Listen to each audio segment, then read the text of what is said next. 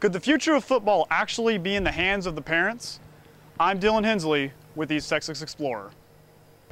People of all ages are flocking to CrossFit boxes, looking for variety, fast results, and a quicker workout. On Friday, November 20th, and Saturday, November 21st, Westminster Presbyterian Church in Nacogdoches hosted the 7th annual International Market and 10,000 Villages Retail Market.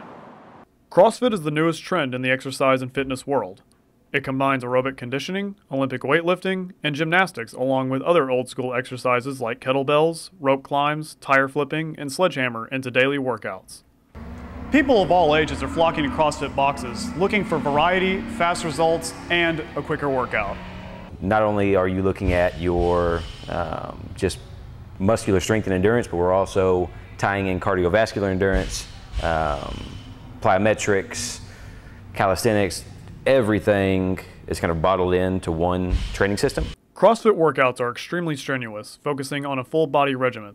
A CrossFit daily workout is referred to as a WOD or workout of the day and can take as little as 20 minutes to do, making it possible to accomplish during your lunch break.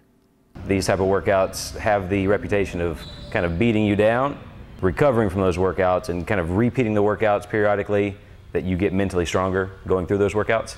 Um, so whenever you hit you, your normal kind of wall in, a, in, in said workout, um, next time you do that workout, you're kind of expecting it, you'll exceed that expectation. Although CrossFit participates in competitive tournaments, it's much more about working at your own pace and developing not only strength, but movement and flexibility in a supportive environment that promotes positive attitude towards health and nutrition.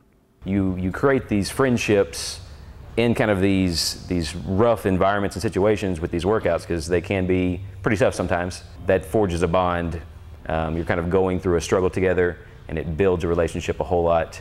If I were to go to a different town and just drop into another CrossFit gym, they would embrace me. It looks like CrossFit may be here to stay, and with the holidays approaching, this may be the best time to join.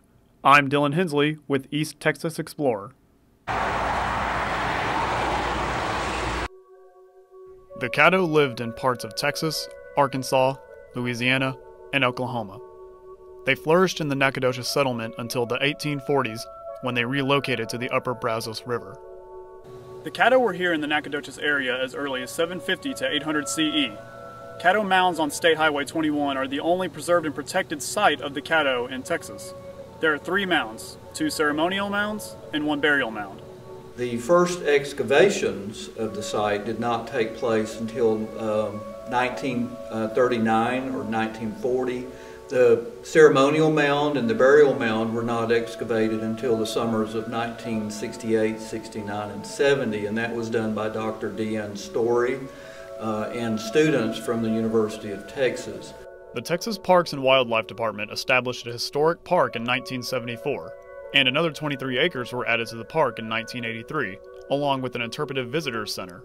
Our visitation was probably right at about 3,500, 3,900, if, if memory serves me right. Uh, and last year, our um, visitation pretty much doubled. We were running in the 8,000 8, numbers. The Caddo introduced agriculture, a stable political system, and rich religious and traditional ceremonies to Texas, which are still practiced today.